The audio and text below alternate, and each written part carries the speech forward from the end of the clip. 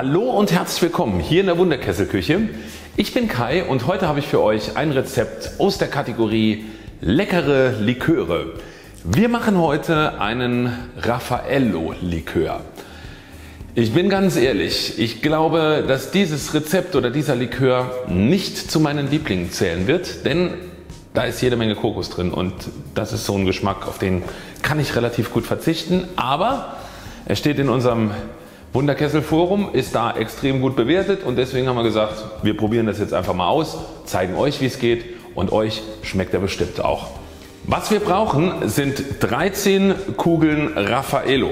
Die kommen hier in unseren Wunderkessel und werden 10 Sekunden auf Stufe 10 zerkleinert.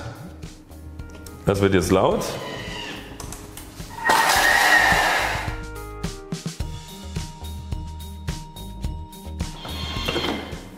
So und das Ganze wird mit dem Spatel nach unten geschoben.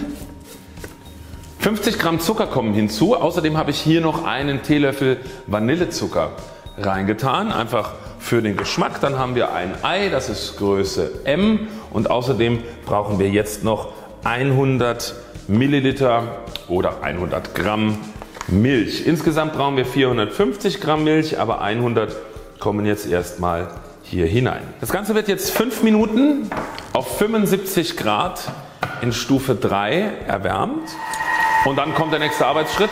Bis gleich. So, die nächsten Zutaten kommen hinzu und das sind auch gar nicht mehr so viele.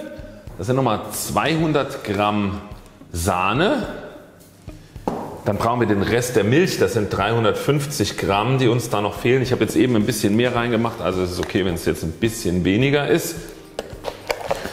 Und 100 Milliliter Wodka. So, damit es auch ein Likör wird, weil sonst wäre es ja nur Raffaello Saft. Ein bisschen Alkohol muss ja rein. Das Ganze wird jetzt weitere 6 Minuten nochmal in der 75 Grad Temperatur auf Stufe 3 erwärmt und dann sind wir eigentlich auch schon fast fertig.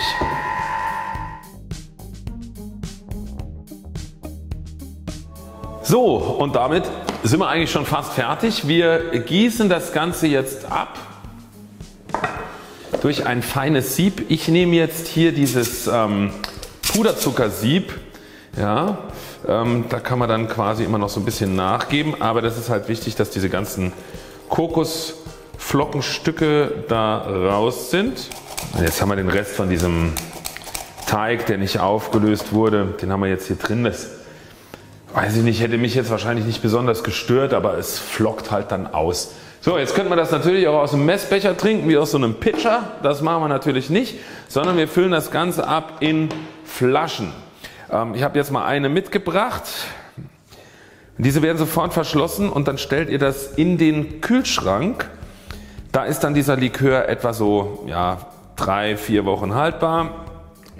Wobei ich ziemlich sicher bin, wenn ich den zu Hause habe, hält er sich keine vier Wochen weil meine Frau steht auf Kokosnuss. Hm. Wie gesagt, verschließen, in den Kühlschrank stellen. Ich würde es natürlich, bevor man es trinkt, auch nochmal aufschütteln. Das muss jetzt ein bisschen abkühlen und dann werde ich für euch mal den Versuch wagen und das Ganze testen. Auch wenn ich jetzt schon weiß, dass Kokos nicht so mein Ding ist. Aber ich probiere es natürlich trotzdem für euch. Bis gleich. So, dann äh, schauen wir mal. Also es riecht natürlich stark nach Raffaello und der Wodka, der kommt wahrscheinlich so geruchsmäßig, kommt da nicht raus. Schmeckt man wahrscheinlich auch nicht, aber die Wirkung ist bestimmt da.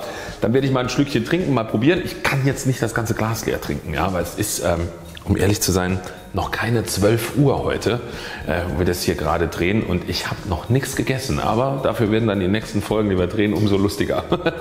also, Cheers auf euch. Ganz ehrlich, ich hätte es gedacht, dass es viel, viel süßer ist. Ich finde es gar nicht so schlecht. ne, ist eigentlich sogar ganz gut. Also nicht zu süß, sehr sahnig. Wenn ihr sowas mögt, probiert es mal aus. Habt ihr gesehen, es äh, war jetzt nicht viel Arbeit und mit Sicherheit gibt es da noch andere Ideen. Vielleicht hat irgendeiner von euch ein Rezept für Rocher-Likör. Das würde ich auf jeden Fall trinken. Aber wie gesagt, ich finde es nicht schlecht und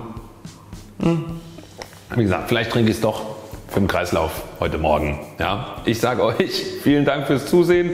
Bis zum nächsten Mal und Cheers.